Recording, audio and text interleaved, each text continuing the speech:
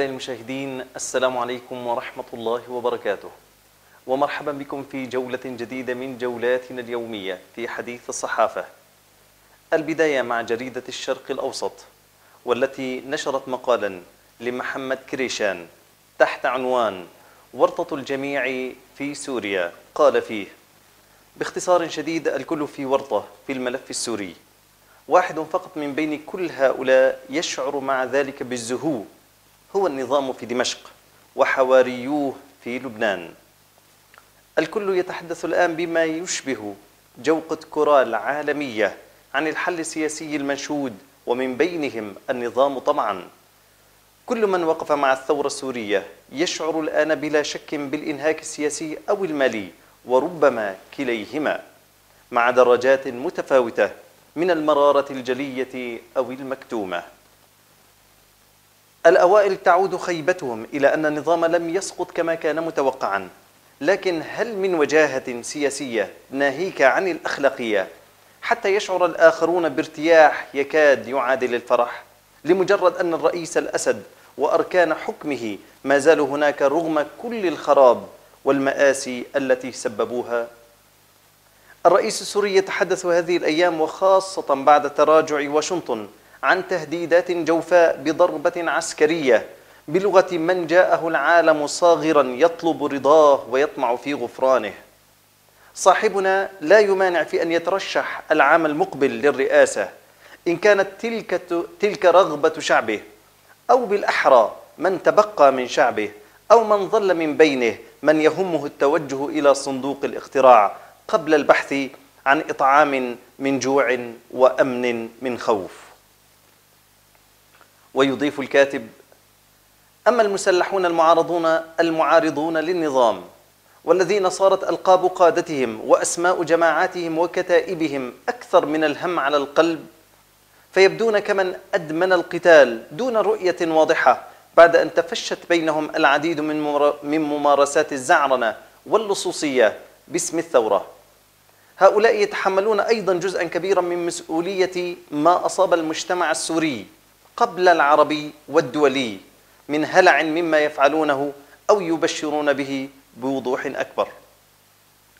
الأخضر الإبراهيمي هو الآخر في ورطة لأنه يبدو تائها بين العواصم بحثا عن توافقات شبه مستحيلة حول حل غير مضمون ولا أكيد. ومع ذلك فقد يكون شعور الجميع بأنهم في مأزق هو الكفيل في النهاية بجعلهم جميعا مستعدين بدرجات مختلفة لتنازلات متبادلة بعد أن وصل كل واحد فيهم إلى أقصى ما يمكن أن يتحمله من جهد أو أذى. لكن المضحك المبكي يضيف الكاتب.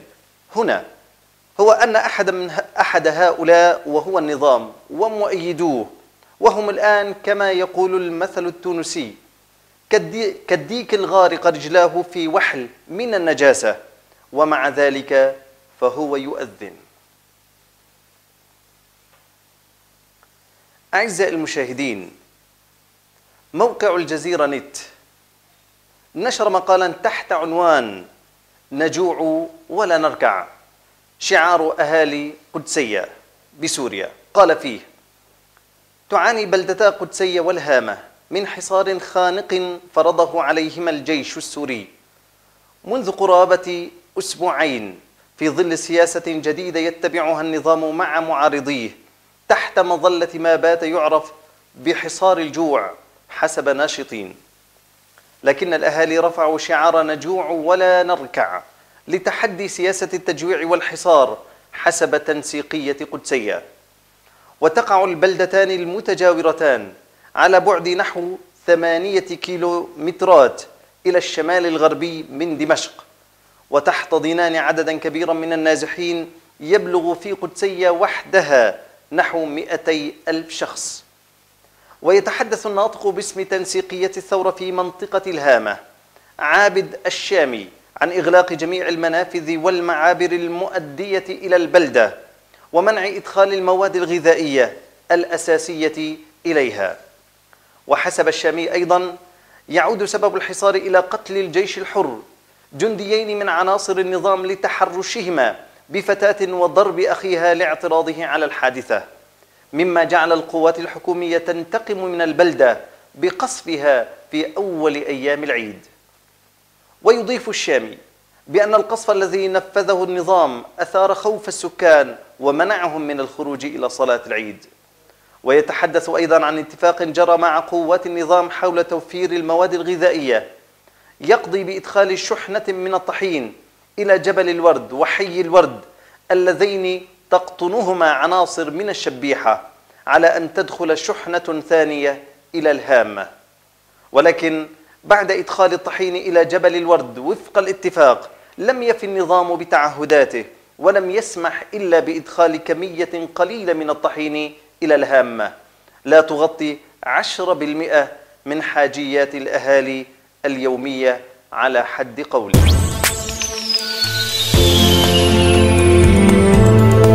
أعزائي المشاهدين وبالانتقال إلى صحيفة العرب والتي نشرت مقالا للكاتب خير الله خير الله تحت عنوان الرجل الذي لا يعرف سوى الهروب إلى الأمام.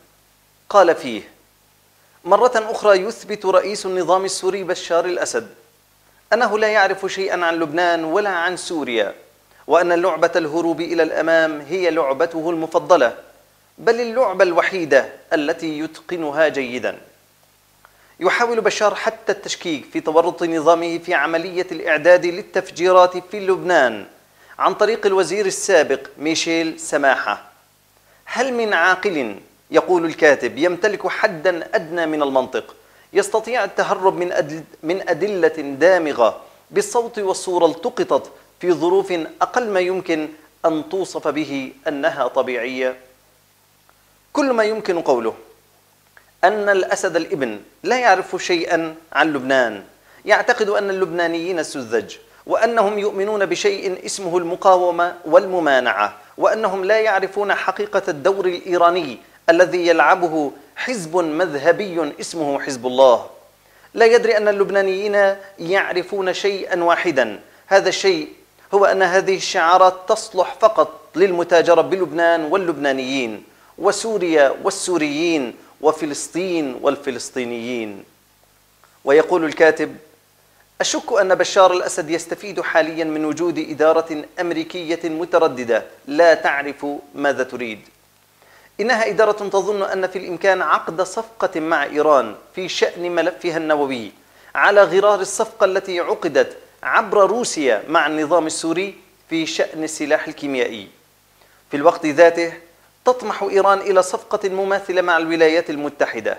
بموجب هذه الصفقة يقدم النظام الإيراني كل الضمانات مطلوبة منه أمريكيا وإسرائيليا في شأن السلاح النووي.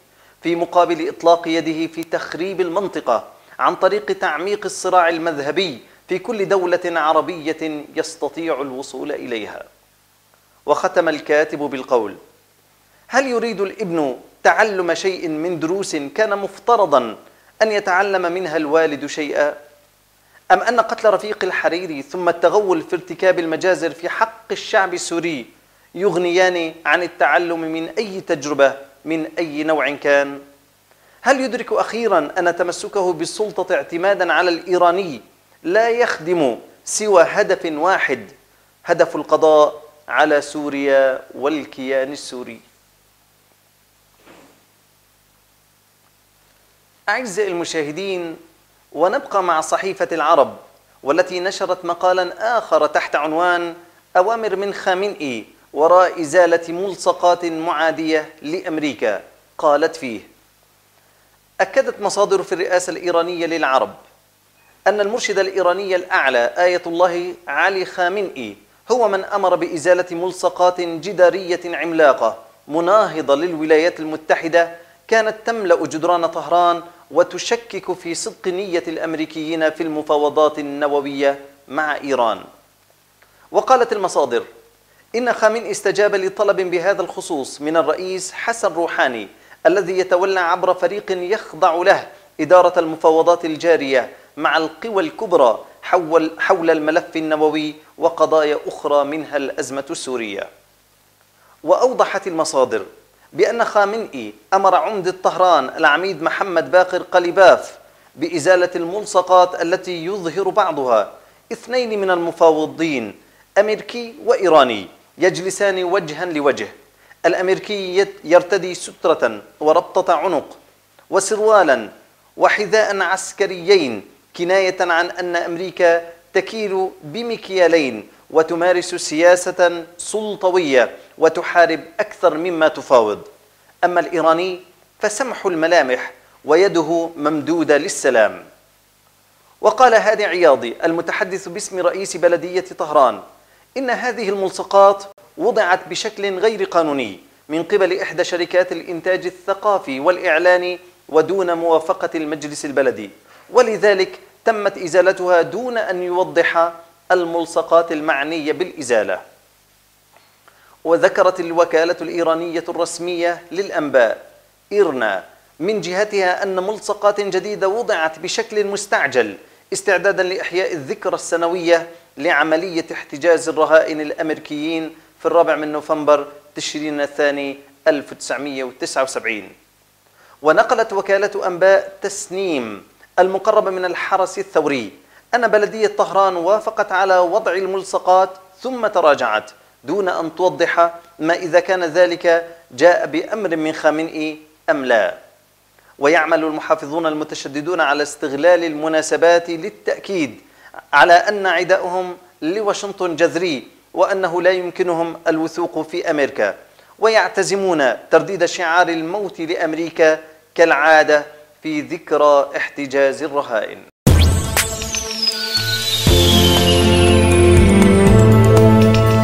أعزائي المشاهدين وبالانتقال إلى الصحف التركية والشأن التركي فقد نشرت وكالة أنباء الأناضول عن افتتاح مشروع مرمرايا تحت عنوان جول الحكومة التركية حققت حلما راود الأتراك على على مدار 150 عاما. قال الرئيس التركي عبد الله جول إن جميع المشاريع تبدأ بحلم والحلم الذي كان يراودنا منذ 150 عاما حققته لنا حكومتنا مشكورة واليوم نعيش حالة فخر بافتتاح هذا المشروع. جاء ذلك في كلمته خلال فعاليات افتتاح مشروع مرمرايا والذي سمي بمشروع العصر والذي يربط ما بين الشطرين الأوروبي والأسيوي من مدينة إسطنبول. من خلال نفق شيد تحت مضيق إسطنبول البوسفور محققا بذلك مشروعا راود الأتراك عبر 150 عاما. وأضاف أيضا بأن الحكومة التركية قدمت للشعب التركي اليوم أجمل هدية بمناسبة الذكرى السنوية التسعين لتأسيس الجمهورية وأن المشروع المذكور يمتلك أهمية عالمية. وتابع جول بأن الحكومة لن تقف عند هذا المشروع فمدينة إسطنبول التي كانت عاصمة لثلاث أكبر إمبراطوريات عرفها التاريخ تستحق مشاريع هامة. تحقق منعطفا هاما في تاريخها. وأن مشروع مرمرايا ليس عبارة عن مشروع يربط قارتي أوروبا وآسيا من تحت من تحت البحر برا فحسب.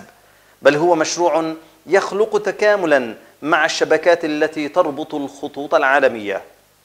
ونوه جول بأهمية الاستقرار ودوره في زيادة عدد المشاريع التي ستعود إيجابيا على المواطن التركي مشددا أن رئيس وزراء تركيا رجب طيب أردوغان تابع عن كثب جميع مراحل تنفيذ المشروع بكل عزم واهتمام.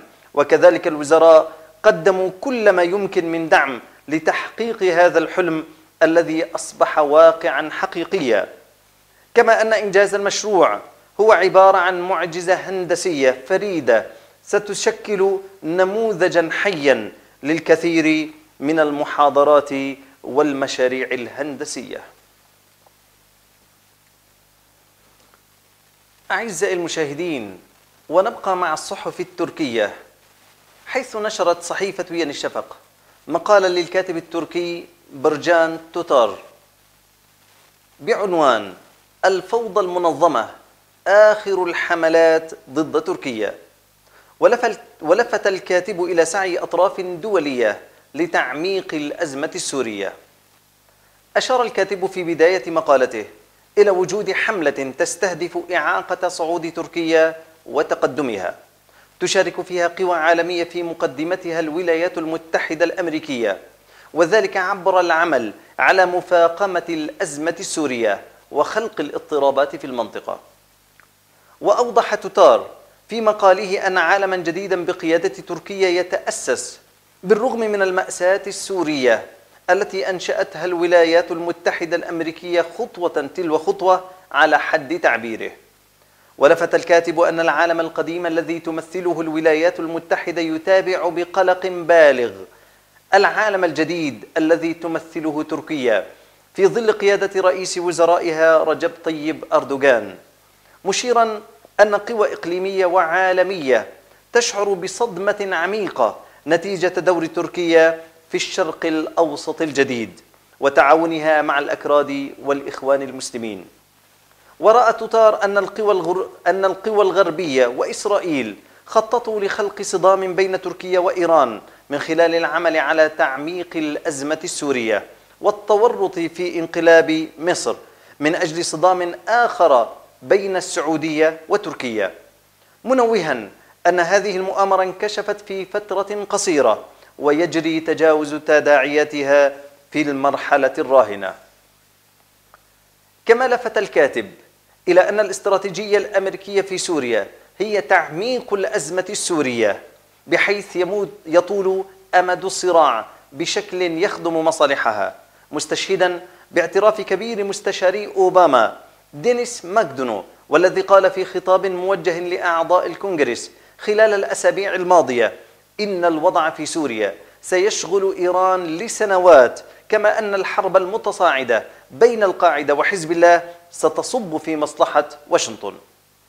وأكد توتار أن السياسة التوازن الفوضوي التي تتبعها الولايات المتحدة في سوريا بهدف بقاء نظام الأسد في وضع قوي سيفشل عاجلا أم آجلا في نهاية المطاف. وأن التاريخ سيسجل ذلك على أنه انهيار الولايات المتحدة. بهذا النبأ التركي أيها الإخوة نصل إلى نهاية جولتنا لهذا اليوم في حديث الصحافة إلى جولات مقبلة. ها أنا أستودعكم الله والسلام عليكم ورحمة الله وبركاته.